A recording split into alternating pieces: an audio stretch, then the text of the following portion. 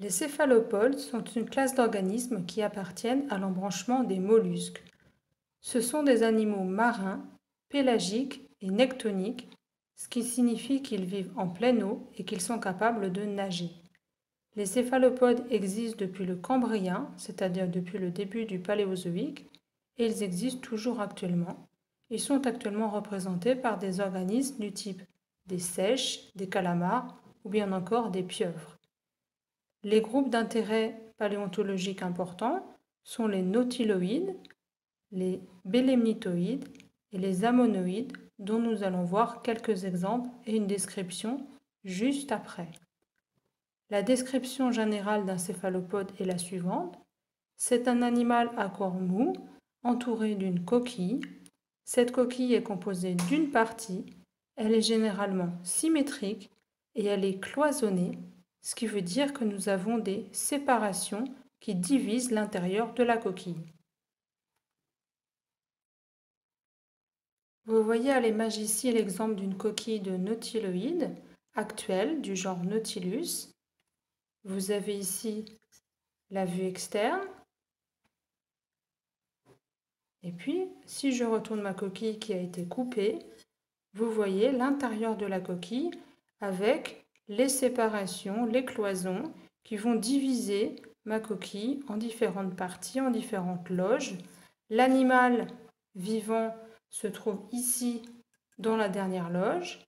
Et puis ici, nous avons la loge initiale, c'est-à-dire la loge dans laquelle se trouvait l'animal à sa naissance. Il s'agit ici d'une coquille euh, actuelle, mais les fossiles, évidemment, montrent la même chose.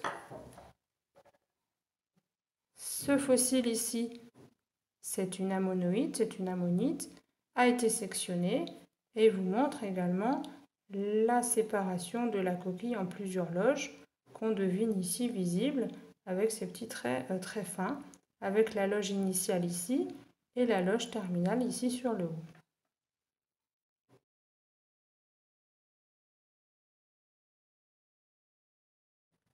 Je commence la présentation tout de suite avec les nautiloïdes. Les nautiloïdes sont un groupe d'organismes existant depuis le Cambrien jusqu'à l'actuel. Ils possèdent généralement une coquille planispiralée, comme on voit ici à l'image, avec ici l'ouverture de la coquille qui correspond à la dernière loge, et ici l'ombilique qui correspond à la loge initiale.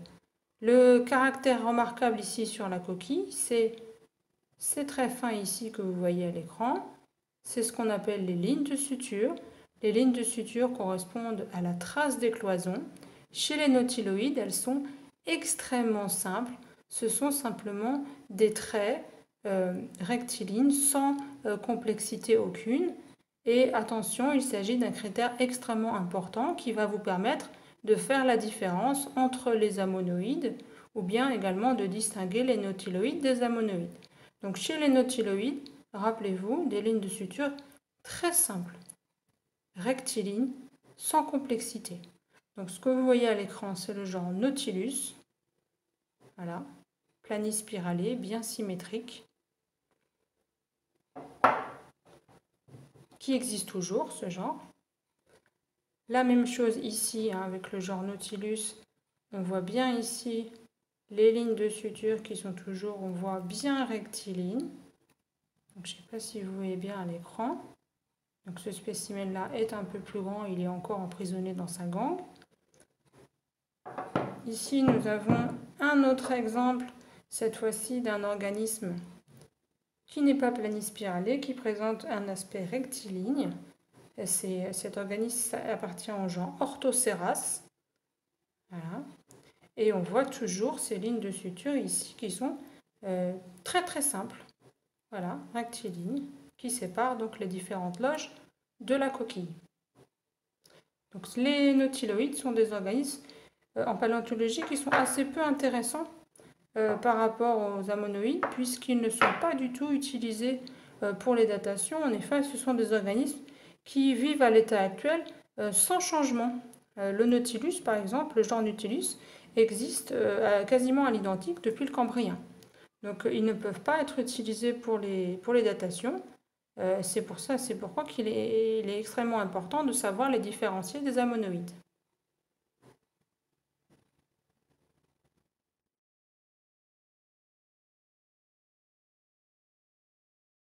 Le deuxième groupe important parmi les céphalopodes sont les bélemnitoïdes.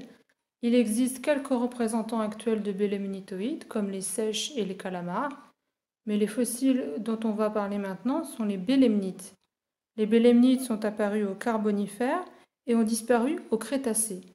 Ce sont des fossiles qui sont représentés uniquement par l'extrémité de leur coquille, ce qu'on voit ici à l'image également sur le schéma de droite.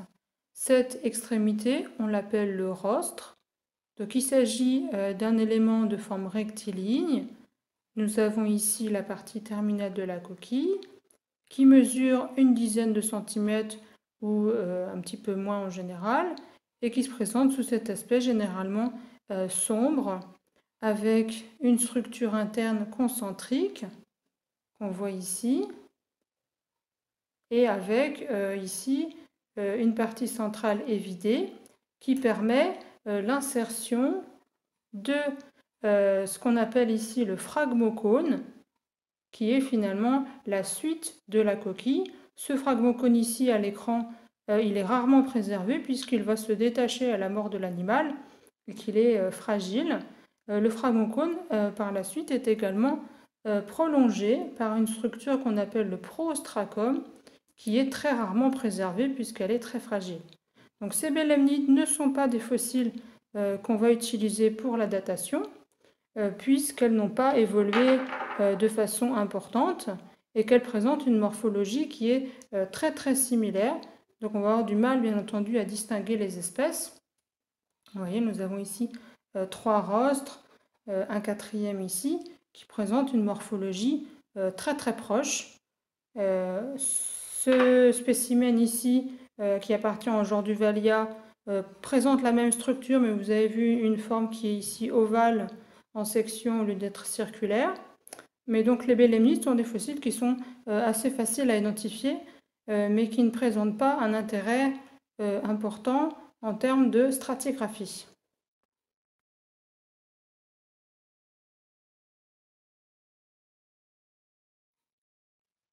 Le troisième groupe important parmi les céphalopodes sont les ammonoïdes. Les ammonoïdes sont apparus au Dévonien et elles ont disparu au Crétacé lors de l'extinction Crétacé-tertiaire. Ce sont des fossiles qui présentent généralement une coquille planispiralée, comme on voit ici sur le schéma. Donc une coquille planispiralée, c'est-à-dire une coquille qui est enroulée dans un plan, avec une ouverture ici c'est la loge terminale, avec un ombilic ici, c'est la loge initiale. Donc c'est la même morphologie que ce qu'on a vu tout à l'heure avec le nautiloïde, avec le nautilus. Mais la différence ici, euh, c'est... Je vais prendre un spécimen ici qui est fragmenté, mais sur lequel on voit très bien. Euh, ce sont les lignes de suture. Nous avions tout à l'heure des lignes de suture qui étaient très très simples, qui étaient rectilignes chez le nautilus. Ici, chez l'ammonite, chez les ammonoïdes en général, ces lignes de suture sont euh, beaucoup plus complexes. Donc plus les organismes sont récents, plus les lignes de suture sont complexes.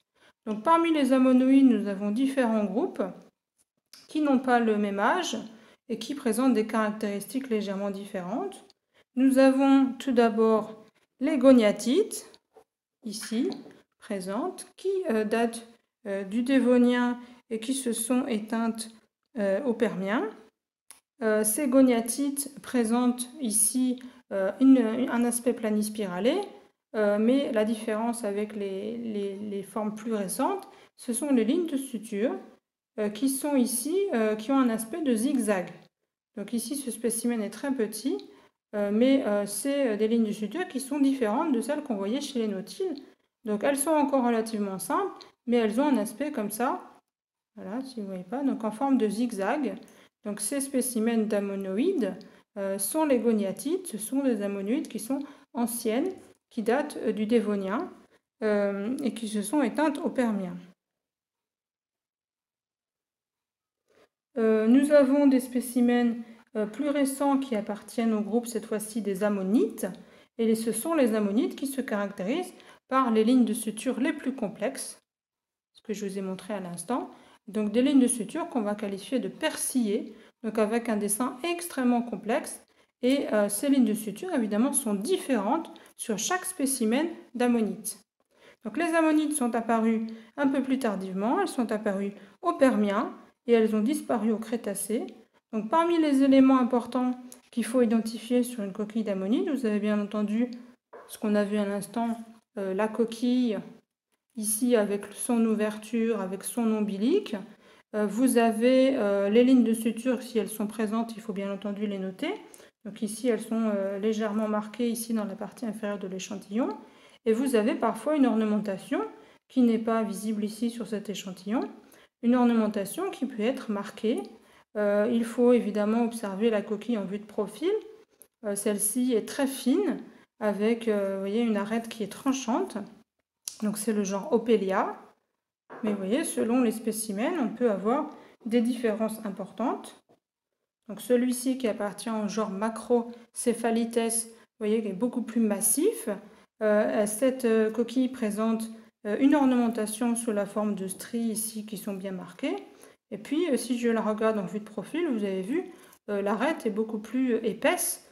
c'est très différent de ce qu'on vient de voir à l'instant. Les lignes de suture ici ne sont pas visibles. Vous avez l'ombilic ici qui est présent, l'ouverture qui se situe par là qui est un petit peu masquée. autre exemple, autre euh, caractéristique qui peut être aussi également importante sur ce genre ici euh, qui s'appelle Ildoceras, nous avons son ouverture, son ombilic ici. Nous avons les lignes de suture ici qui sont euh, bien visibles, qui, sont, qui sont petites, je ne sais pas si vous voyez bien, mais qui sont, qui sont bien visibles. Nous avons une ornementation sous la forme de stries. Et puis si je regarde ma coquille en vue de profil, donc l'arête est, est relativement arrondie ici et pas aussi tranchante que sur le premier spécimen. Et nous avons un élément aussi intéressant qui peut euh, servir de critère distinctif, c'est ce qu'on appelle une carène. Donc ici, nous avons une double carène euh, qu'on observe ici euh, uniquement en vue de profil. Sur ce spécimen si massif, nous avons ici une carène simple, voilà, présente ici au centre, une ornementation qui est marquée sous la forme de stries et de tubercules ici c'est le, genre Schloenbachia. Ici, nous avons un autre espèce, une autre genre qui s'appelle Perisphinctes, avec une ornementation marquée sous la forme euh, de stries. Euh, les lignes de suture ici ne sont pas visibles. Euh, sur ce, spécimen ici qui s'appelle Philoceras, on a des lignes de suture qui sont très très bien marquées oui, c'est ce qu'on voit ici dans la partie supérieure. Donc un joli dessin. Donc c'est pas une ornementation, hein, c'est des lignes de suture, c'est-à-dire euh, la trace des cloisons. D'accord? Donc attention à ça, il ne s'agit pas d'une ornementation. Euh, si je regarde en vue de profil, donc cette coquille a une arête assez tranchante. Elle ne présente pas de carène et nous n'avons pas ici d'ornementation. Ah, ici, vous avez le genre Grammoceras avec des stries euh, d'ornementation bien marquées, avec les lignes de suture ici complexes qu'on voit ici en bas. Et puis ici, euh, nous avons euh, une carène vraisemblablement qui est un petit peu difficile à voir du fait de la présence ici de la roche. Hein. L'échantillon n'a pas, été extrait de, sa gangue. je termine avec des spécimens un petit peu différents euh, j'avais dit en introduction que les, coquilles d'amonoïdes avaient généralement une coquille qui était planispiralée, euh, mais ce n'est pas toujours le cas. Donc nous avons ici euh, un spécimen du genre Turilites qui présente une coquille avec un enroulement hélicoïdal, donc un petit peu comme chez les gastéropodes. Donc là, on a simplement évidemment une partie de notre coquille, hein. il nous manque la partie finale. Donc c'est pas fréquent chez les ammonites, en général, l'enroulement il est, euh, planispiralé, mais il existe des spécimens qui présentent un enroulement de nature différente. Donc bien entendu, quand vous êtes en présence de ce, spécimen-ci, il ne faudra pas le, confondre avec un gastéropode. Donc la différence ici va être euh, notamment la présence des lignes de suture qu'il faudra bien, euh, observer. donc ici un enroulement voilà, hélicoïdal. Les lignes de suture ne sont pas visibles ici. La même chose ici avec ce spécimen de grande dimension, donc toujours du genre Turilites. Donc là, on a simplement deux, loges. Il nous manque évidemment le, reste du spécimen, donc c'est un, spécimen de grande taille. Les ammonites peuvent mesurer jusqu'à plus d'un mètre de dimension. Nous avons ici un autre exemple, euh, une ammonite qui est partiellement déroulée. Donc vous avez ici le début de l'enroulement qui, qui est presque planispiralé et puis vous avez la, coquille qui va se dérouler dans sa partie terminale. Euh, donc l'enroulement peut être euh, de nature différente, donc c'est relativement rare, mais vous avez des exemples donc, de coquilles partiellement déroulées, voire totalement déroulées, complètement rectilignes, et même qui présentent un enroulement désordonné. Donc je n'ai pas d'échantillon à vous montrer. ici, vous avez ici celle-ci qui est fragmentaire, c'est le genre Cryoceras, mais qui est une coquille euh, qui présente un aspect euh, déroulé, en partie déroulé. Voilà, donc on voit ici euh, un fragment avec ces stries d'ornementation. On ne voit pas ici les lignes de suture. Donc les ammonites qui ont disparu lors de l'extinction du Crétacé sont des fossiles qui sont très très intéressants, qui sont très utilisés en stratigraphie euh, qui vont permettre de réaliser des datations précises, puisqu'il existe un grand nombre d'espèces qui ont euh, évolué euh, rapidement et donc qui permettent de réaliser de très bonnes datations pour les niveaux du Mésozoïque. Donc des fossiles qui sont évidemment très importants à identifier et qu'il faut savoir reconnaître.